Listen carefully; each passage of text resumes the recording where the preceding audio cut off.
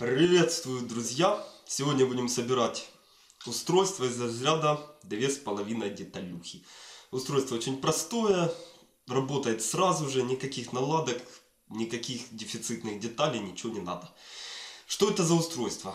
Устройство управления реле одной кнопкой. Кнопка без фиксации. Порой это очень нужно и необходимо. Вот и мне понадобилась такая схемочка, такое устройство.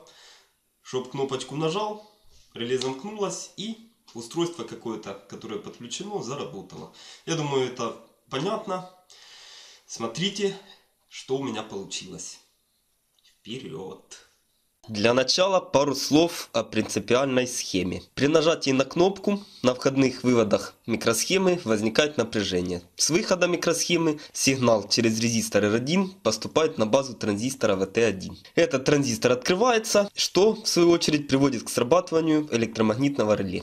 Светодиод VD1 предназначен для индикации состояния устройства. То есть это индикатор включено-выключено. Ну я думаю понятно. Отмечу, что напряжение питания может быть не обязательно 9 вольт. То есть, например, если вам необходимо запитать сие устройство напряжением 5 вольт, то соответственно вам необходимо, во-первых, реле с напряжением срабатывания 5 вольт, ну а во-вторых, вам потребуется рассчитать ограничительный резистор для светодиода VD1. Вот собственно и все теоретические моменты. Можно приступать к сборке.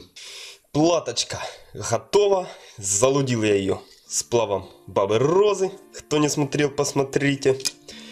Приобрел все необходимые деталюшечки. Что еще хочу сказать? Вот эта вот микросхемочка NE555. Стоимость ее в наших магазинах, ну по крайней мере у меня в городе, около 15 гривен. А точнее 13,50. Ну в другом магазине 15, в одном 13, в одном 11. Что интересно, в Китае такие микросхемочки стоят вообще копейки, на порядок дешевле. Так и хочется нашим торгашам дать в лобешник и сказать им в конце-то концов. Остановитесь! Но, к сожалению, думаю, что меня не послушают. В общем, к чему это все говорю? Рекомендую. В случае возможности, если вы нашли в Китае необходимую вам деталь, покупайте лучше в Китае. Я лично так и поступаю. Почему? Не только потому, что выгодно, а и по честности из принципа. Хрен им, а не наши кровные финансы. Вот так я считаю. Ладно, то все. Политика. Давайте приступать к сборке.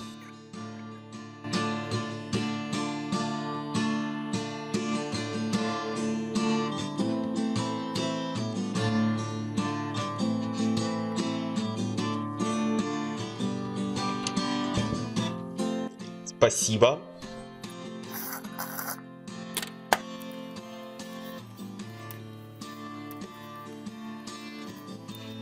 Последний герой нашей платочки. Релюшечка, елки. Маленькие отверстия.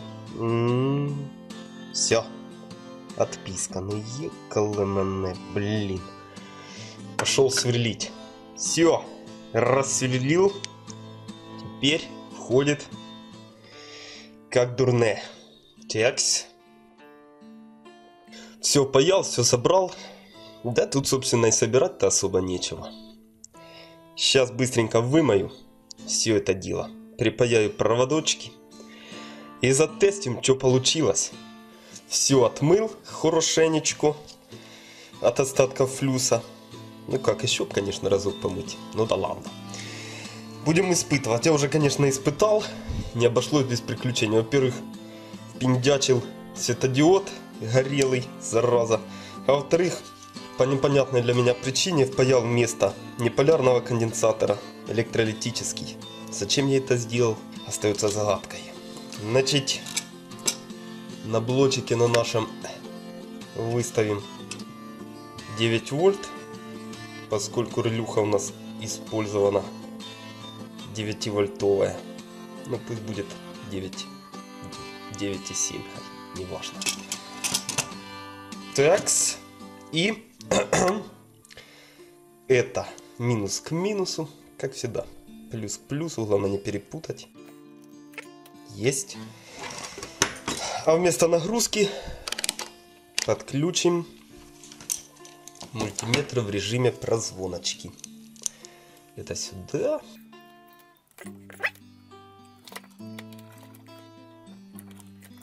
Видно там, не?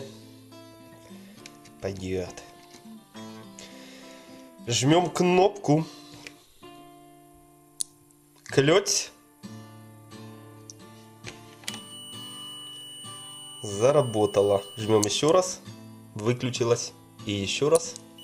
Заработала. И еще раз отключилась. И еще раз. И еще раз. Хватит. Все работает. Замечательно. На Ентом все. Все ссылочки, как всегда, в описании. Подписывайтесь на канал, комментируйте видео. Буду искренне рад с вами пообщаться. До новых встреч, друзья. Покеда. Покеда.